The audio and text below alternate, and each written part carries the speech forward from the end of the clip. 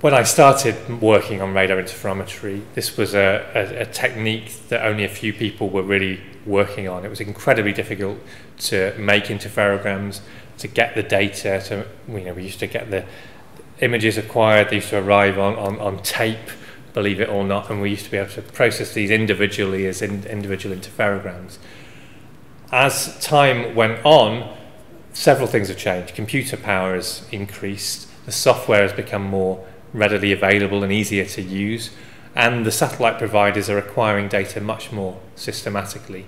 And I think particularly with Envisat had a, had a mission, a background mission that enabled us to acquire lots of data reasonably systematically over tectonic and volcanic areas. But even with Envisat, we only had data maybe every 35 days if we were lucky for an individual location, but more typically it might be every, every 70 days or so. the huge change that's happened in the last couple of years has been the launch of Sentinel-1 and now we have Sentinel-1A and Sentinel-1B both acquiring data. They both image an, an individual spot in the same geometry every 12 days. And of course, you get data as the satellite goes north and as it goes south. So you get two images potentially every 12 days.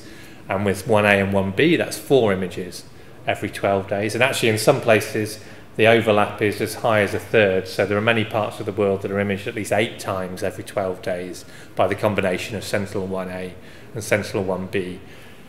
And those satellites are targeting all of the tectonic areas and all of the volcanoes. So we're able to get now this huge systematic data acquisition over all of these areas of interest.